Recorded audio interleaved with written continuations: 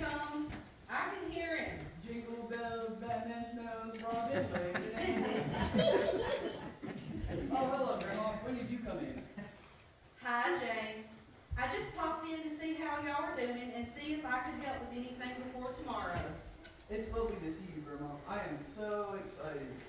I can't believe that it is already Christmas Day tomorrow. Have you looked under the Christmas tree, Grandma? There are tons and tons of Christmas presents, and most of them are for me. Yes, I have noticed, James. So many people are so kind to you. Have you wrapped up your presents yet for your mom and dad? No, I haven't got around to that yet, but I guess, um, guess what I bought Dad? I don't have a clue, James. What did you give him? I got him a massive Hershey bar. Well, I should say almost a whole Hershey bar. What do you mean, most of a Hershey bar? Well, I got hungry in the middle of the night after Scouts last so I had a little nibble, and then another little nibble, and then lots of other little nibbles. Well, there are still a few pieces left.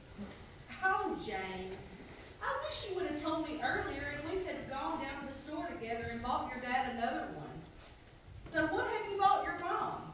Please don't tell me most of a Snickers bar. I bought her a rather nice fridge magnet, as a matter of fact. It says, stop and count to ten before you lose your temper. Hmm. Not what you might call a diplomatic present, James. What's diplomatic to mean, Grandma? Never mind, James. How about you tell me what you've been up to over these past few weeks? I've hardly seen you. Well, last weekend, Dad and I went to the Christmas, went and got the Christmas tree from the Christmas tree farm. And then took, and then it took Dad forever to put up the lights. Well, I hope you stayed all the way, James. Dad started to say words that I didn't understand, and when I asked him what they meant, Mom told me to go buy some milk for her. I told her I already had, had two gallons of milk in the fridge. Well, the tree looks beautiful to me. You did a very good job decorating it, although I have to say that there are some fairly unusual decorations on it. Thanks, Grandma. Did you like my dinosaurs with the party hats on? Mm, So tell me, what else have you been doing, James? Lots and lots of shopping with Mom. It's so boring. I hate shopping, but there seems to be endless stuff to buy. Presents right into this, and Uncle that, there, and all the food. You think that Mom, you would think that Mom was feeding an army with the way the cars followed up by. I'm sure that you will enjoy all of the delicious food that your mom cooks for you tomorrow. I'm looking forward to our lunch together. So am I, Grandma, especially the turkey and the stuffing. I hope Mom doesn't make me eat the Brussels sprouts again. Good for you. Well, if she does, we don't want the dying cow impression like you did last year, okay? I might just have to squish it under my foot. I'm gonna pretend I didn't hear that, James. Thanks, Grandma. Oh, I forgot to tell you that besides decorating the Christmas tree and all of the shopping, that I've also been to three parties, a trip to see Santa Claus, to Summer Center, and outings of Tankamon, caroling with the church, a play at my cousin's school, skating at the O2 Arena, and I'm worn out. I'm not surprised, James. I'm exhausted just listening to all that. Mom said the other day that she wished she could just cancel Christmas for a month, but I love it. All of the food, the presents, the entertainment. In fact, I can't wait to see all the Christmas movies on TV tomorrow afternoon. I know, James, it is all so much fun, but imagine for just a moment that all the things that you just told me about were taken away, as your dear mother is longing for right now.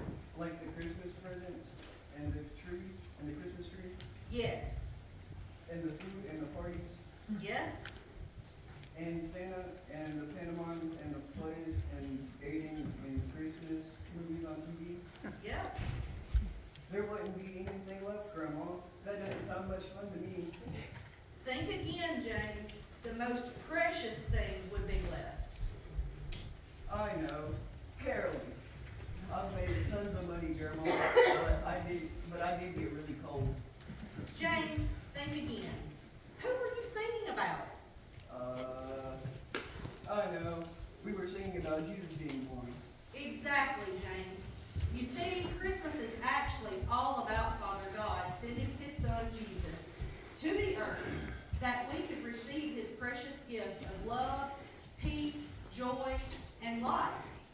Now that is something worth celebrating, isn't it?